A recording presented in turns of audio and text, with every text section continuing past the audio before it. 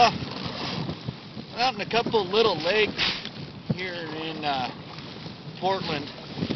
Um, I fished here once or twice from the bank a year ago.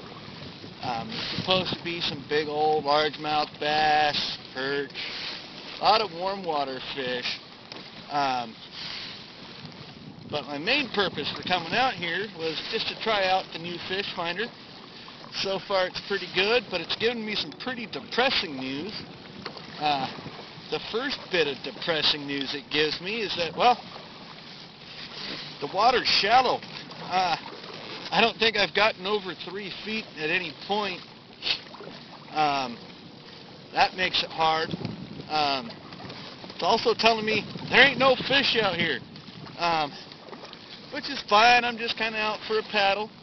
It's uh, I don't know if you can hear it or not. Hell, I don't even know if you can hear me, but uh, it's pretty windy out here.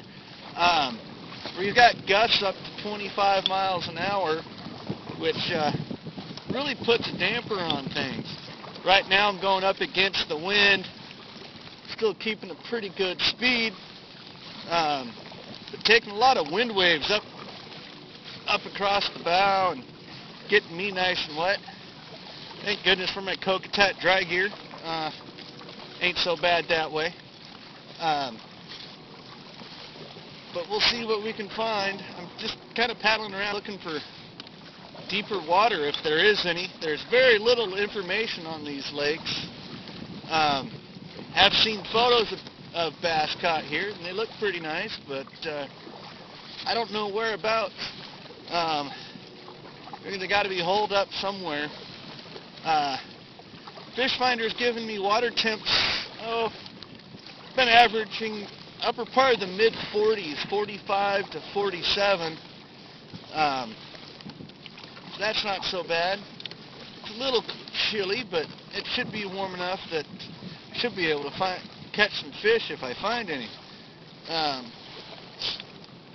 paddle around a little bit. There's actually two lakes that are connected.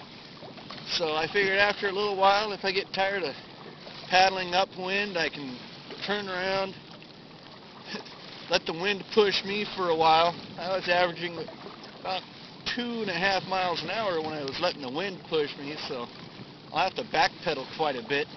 But uh, see if the other lake on the other side is going to be uh, any better.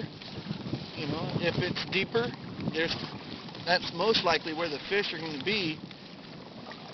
Just got to bring my lines in and slip through a small canal I also like to hope that maybe it's uh, the wind's a little bit, or I rather I would be protected from the wind a little bit since it's uh,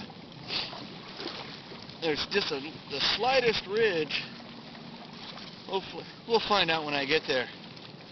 But uh, I'm exercising the new Oregon uh, flat water two rod license It's kind of nice thing to have. Never in my life have I ever been able to fish with uh, two fishing rods before.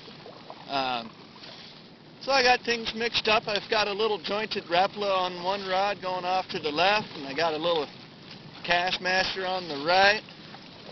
Just kind of putz around, see what we can find out here.